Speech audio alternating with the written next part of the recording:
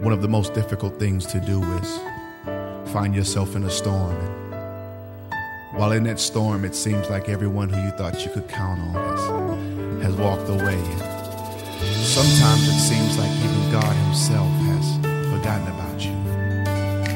But in spite of that, to still be able to lift your hands and say,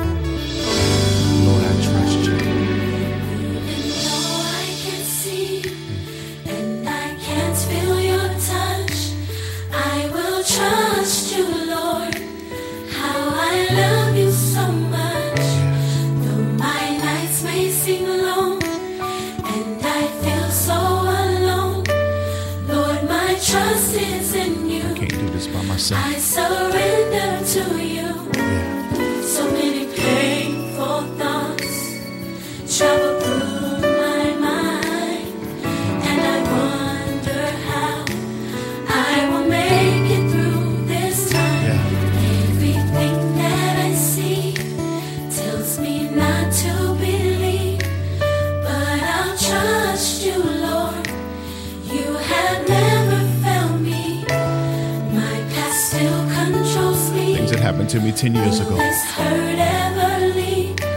Yeah. I can only trust you.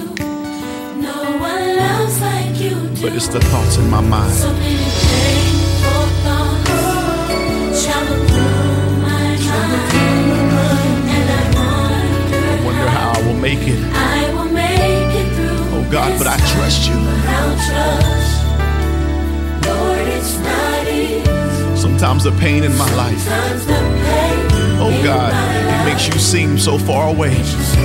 Can I get a witness, somebody? But God, I trust you. I need to know you're here. Through the tears, Through the tears and the pain. Through the heartache and rain. anybody ever had to cry late in the midnight hour? tears and the pain. Every tear you've had to cry Through the heartache and rain. Come on, take it out through the tears. tears and the pain. Oh, that's right, through the heartache.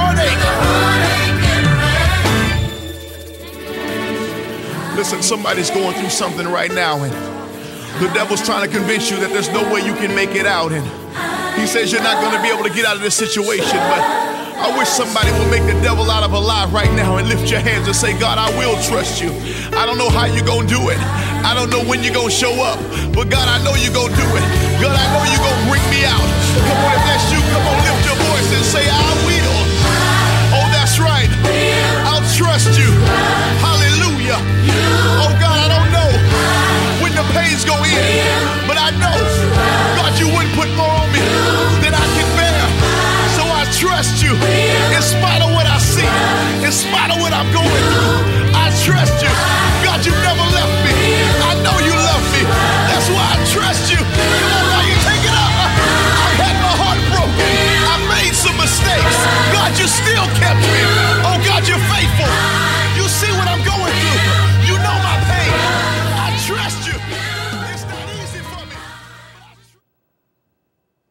God bless you and welcome to another episode of Handle It.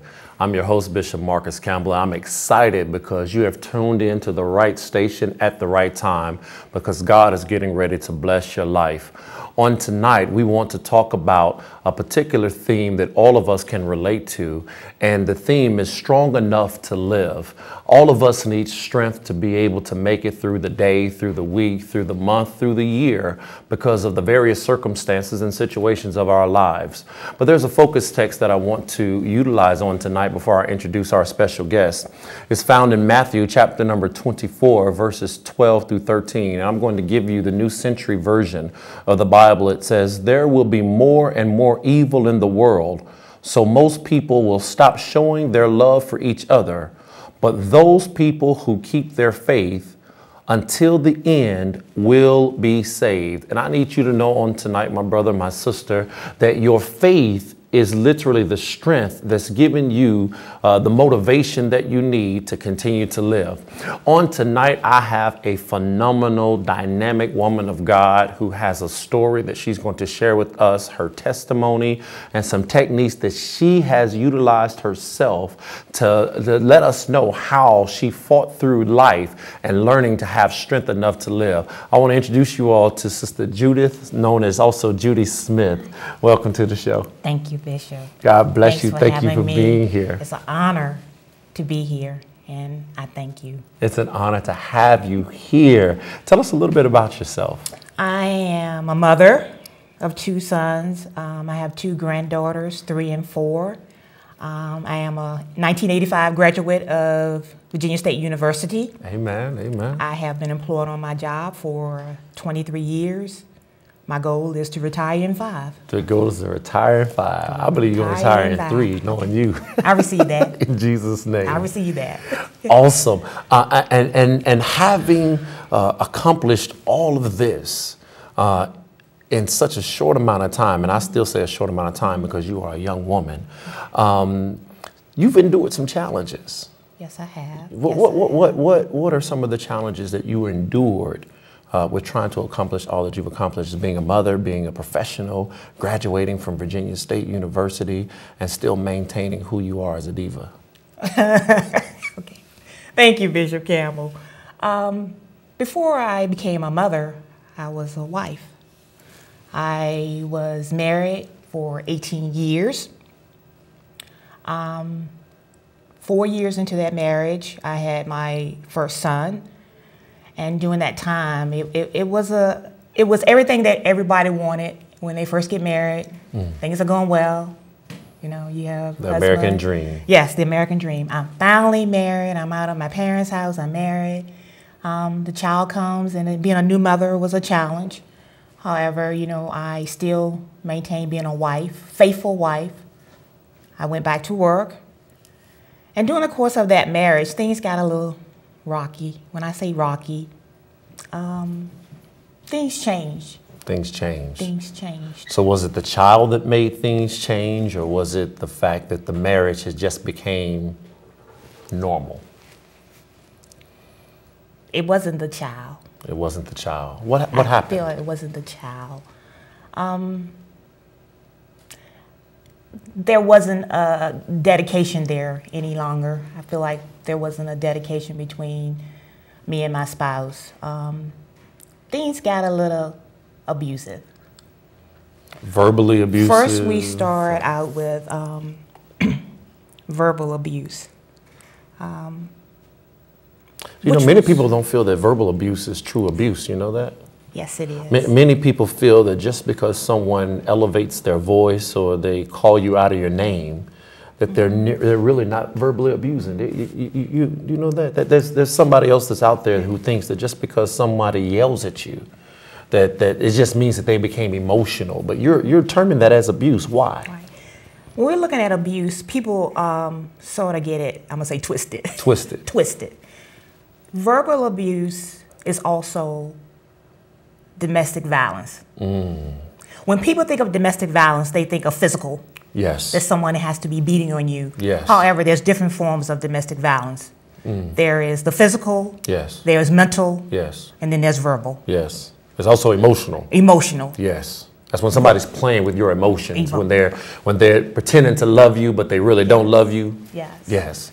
But- but- However, but it's yours- all domestic violence. It's all domestic violence. It's all So so four years into the marriage, you've birthed a child, you're going back to work, and now all of a sudden, domestic violence has found your address, and you're beginning to live with verbal abuse. Right. Right. H- how did you handle that? How did you take it initially? initially I was hurt, very hurt, um, because this was my husband. And I knew that, no, you, you should not be talking to me like that. Right. So initially it was hurt. But as it continued, I got angry. Mm-hmm. So did you ever talk to him about it? Did you ever say, listen, the words you're saying, they, they hurt my feelings, they make me feel uh, dehumanized, dogmatically, you're, you're degrading me? I mean, did you ever No, not communicate really. that? We didn't communicate. I didn't communicate Why not? that with him. At that point, I, I didn't want to even talk about it. Right. I felt most victims say it's just going to go away. It just go away. It's going to go away. You know, we're all overworked. We have a child, so you know, it will go away. So, so victims of domestic violence start making excuses for their situation. Yes, they do. They always say it's going to get better. Did it get better? No. No, it did not get better. It, it got better for a while, and that's what happens. For a while, you know, it gets better, it gets better. But then again, it will come back. Hmm. So how did it come back at you? It came back at me. Verbal went to physical, My Lord, the worst kind. the worst kind, the worst kind, physical. And when I say physical, it wasn't really, it was a push here, a push there. But you have to realize that a push here and a push there eventually is going to is going to happen. Something else is going to happen. Yes, something else will escalate. happen. You know, and, and one of the things that I want to interject here is that in between the verbal abuse and the pushing, there was a constant battle of your emotions, as well as your mentality, your mindset, because you're going through the questioning process of why is he talking to me like this? Why, why is the, the, the, the and this is not just for, for men, because there are men who are victims of domestic violence as well as women. Yes. And so there's there's the question: Why is my spouse talking to me like this? Why, you know, maybe they don't love me, and this is where the emotional abuse comes into play. Did, did you go through that those phases? I constantly ask myself, okay, what am I doing wrong? Hmm. You constantly ask that question. What am I doing wrong? What can I change? And then in the back of your mind, you're saying, I'm doing what I'm supposed to do. I'm here. I'm doing the necessary things, household chores. Yes. I am taking care of my son, yes, doing your wifely duty. wifely duty. So what? What is the problem? And he never gave you a problem. No. Everything was the problem. Everything was the problem. I said everything was a problem. You you get to the point where you you're like, well, nothing is right. Nothing is going to be right. So you stayed. Why? I stayed because that's what I was supposed to do as a wife. I'm sorry. Forgive I me. I came from a family where there is always there's a father, there's a mother, there's children. You stay with your family. You raise your children because they have to have a mother and they have to have a father. So regardless of how your spouse talked to you, you had to stay there. You stay. You stay. Regardless of the push, you had Right. to, to to stay. And I did not want to be a failure. I wanted to say, okay, I can make this work. This has to work. By this time, I had two boys. I said, I have to be here. You know, they can't come from a broken home. My Lord. They have to have both parents. So you were willing to endure the domestic violence just so that you wouldn't feel like you were failing yourself and your myself children. and my children. My God. Yes. So the pushing, did it stop at the pushing? I mean, did we, did, is that, is that the, No, there was more than pushing. There, there, it, there were times when there were there were licks, I should say, hits. But I never would fight back. Why not? I mean, never, I never would fight back. I, I, I just said, okay, it's, it's okay. I, I just never would fight back because I felt like if I fought back, then it would be uh, more. It would be more aggressive. it, it would become worse. It would It would come escalate. worse. Yes, And so your children are there. Your, your husband is now being aggressive towards you. You've rationalized in your mind, I've got to stay here. Was there at any point in time when you said, enough is enough? yes, I did. As my children got older, especially my older son, um, when I saw that he was getting very agitated, and there was one there was one incident that my son actually got involved, Wow. and it was at that point that I knew I couldn't do it anymore. Because at this point, I knew that it was affecting my children. Right. all along I, I, I knew it was affecting them but I just didn't want to